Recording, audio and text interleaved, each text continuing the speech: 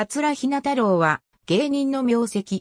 この項では東大について記述する。桂ひな太郎は群馬県安中市出身の落語家。落語協会所属。本名、武藤幸夫。出林、越後寺市。1977年3月、三代目古今亭、新朝に入門し、前座名、志新坊を名乗る。1981年9月に煮詰め昇進、古今亭新上と改名。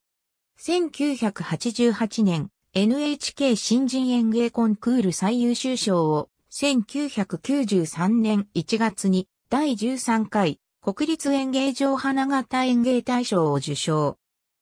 1993年9月に古今亭聞くことぶき、入選亭旋会、柳家北八、三代目入選亭仙蔵、三遊亭和歌演歌、四代目流亭芝、柳家三世、柳家藩治、前帝竹師匠と共に、新内昇進。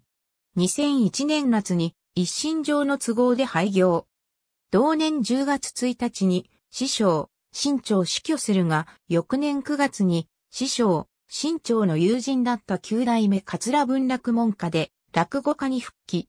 ひな太郎を名乗る。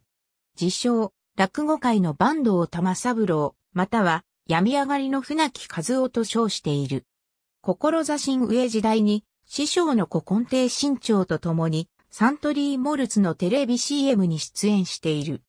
新潮師匠の CM に自分を見つけました。ひなブログ。桂ひな太郎。2020年6月11日閲覧。